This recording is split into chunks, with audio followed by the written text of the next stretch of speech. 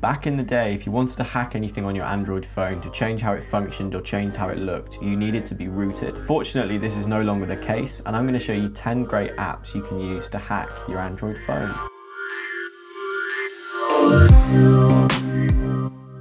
One of the first things I used to do when I rooted my phone was change how my status bar looked. Fortunately, you can now do this without rooting with just an app called Status. Not only will this give an older Android phone the ability to change your status bar based on which app you're currently running, you can also change your default status bar color to be anything that you want, and you can change your icon color as well, and there's a setting called contrast icon colors, which will make sure your icons never turn invisible depending on which colors you've chosen. You can then change where everything appears in your status bar. So if you want your notifications to be say in the middle or on the right, not on the left, you can do that. This allows you to customize any element that appears in your status bar. With your battery, you can show and hide your icon. You can have it display text as a percent if you want to, and there's a bunch of different icons that you can choose. This goes for Wi-Fi and Bluetooth and everything else. And using status, you really can customize your status bar to look exactly how you want it. One of my favorite root apps of all time was GMD Immersive Mode, and you can now use this on any phone without being rooted. This will let you force your apps to display in full screen. You can customize it on the go using the notification button. This is great for apps like YouTube if you want to make the experience feel a little bit more immersive. And if you get the paid version, you can make it so apps will automatically open however you want. Parallel Spaces is one of the most powerful apps that I've found this year, and this will let you run multiple versions of the same app. So if you have more than one Facebook account, you can use Parallel Spaces to clone the Facebook app, and then you can log into these separately and run them independently. This will also work for games, so if you've got more than one account for something like Clash Royale or Plants vs Zombies, you can log in and then play both at the same time. And then the final thing you can do is theme these cloned apps. The it currently only supports a handful of messaging apps, but it's a nice way to add a little bit of extra flair to your phone. If you run lots of minimal setups on your phone, or if you just want to make your phone look different, then Powerline is a really powerful app. This lets you have a bar at the top of your screen which will display how much battery life you currently have. The bar itself is incredibly customizable. You can change the transparency and you can change the height.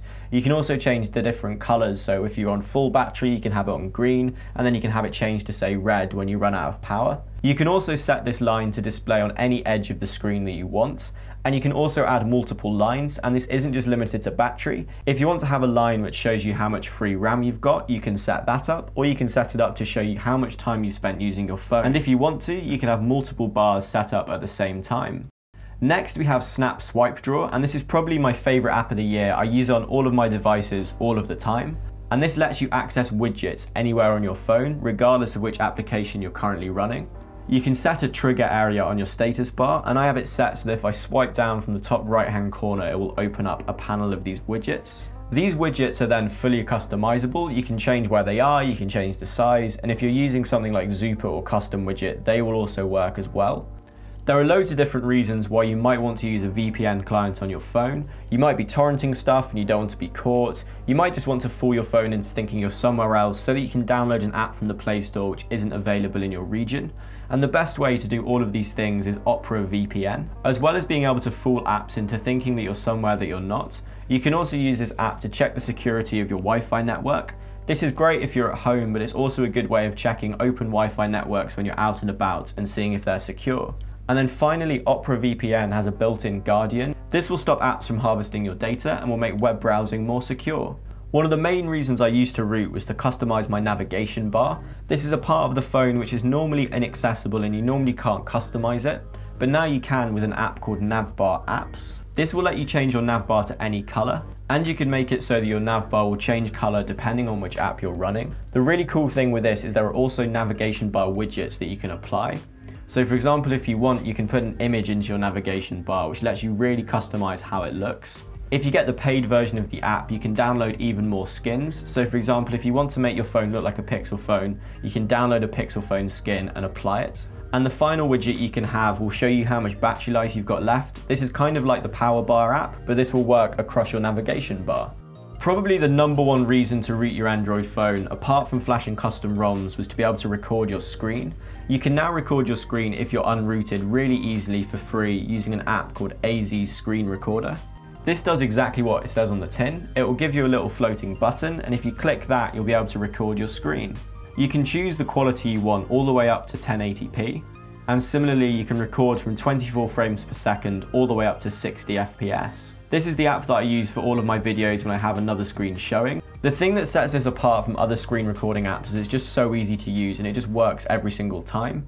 You can tweak it as much as you want, so you can record from the microphone if you want to, or you can show touches, which is really useful if you're recording a tutorial. But all in all, AZ Screen Recorder is by far the best screen recording app. You don't need to be rooted, and it's free. MacroDroid is fast becoming one of my favorite apps because you can use it to control basically anything on your phone. This is an automation app, but it's much easier to use than alternatives like Tasker or If This Then That. You can do all the simple stuff like changing your Wi-Fi or Bluetooth state depending on your location, but you can also use this to create some really intricate custom macros. And another thing that sets this apart is you can download macros from the community. One of my favorite macros will trigger your torch when you shake your phone, but it's got a couple of constraints built into it as well, so it won't work if you're in the light, and if you go from dark to light, it will automatically turn the torch off for you. And another favorite of mine will change your rotation state if you open certain apps, so if I open any of my video apps like YouTube, even if I have auto rotate turned off, it will automatically turn it on when I'm in that app.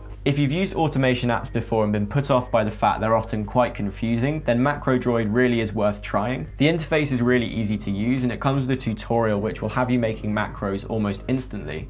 I think the biggest issue with smartphones still is definitely the battery life. Screen technology and memory and RAM and all that good stuff seems to have increased tenfold over the last few years but batteries still seem to be lagging behind. However, if you have an AMOLED phone, there's a really powerful app called Pixoff. What this does is turns off a set of pixels in a grid pattern over your screen. Obviously this is going to decrease the quality of your screen because you're literally just turning off pixels, but even if you do have this set to say 50%, it really isn't that noticeable and it will save a considerable amount of battery life because your phone is literally powering half as many pixels. Throughout the day, your phone's display will burn the most battery life, so being able to turn off half of it will give you a dramatic and significant increase in how long your phone will last. The app also comes bundled with a night filter, and this will cut out different types of light depending on the time of day, and there is also an option which will change your wallpaper to a flat black background when your phone gets to a certain level of battery. The default state for an AMOLED pixel is black, so this means your phone is not going to be using those pixels and again you're going to save more battery life. So there you are guys, those are 10 of the most powerful Android apps you can use to hack your phone and make it even better. Let me know what you think of this in the comments below and let me know which you think the most powerful Android apps are. I'm probably going to do a part 2 to this in the near future because there's a lot of apps that I didn't include on this list. So subscribe if you do want to see that. Thank you very very much for watching and as always I will see you guys in the next video. Peace.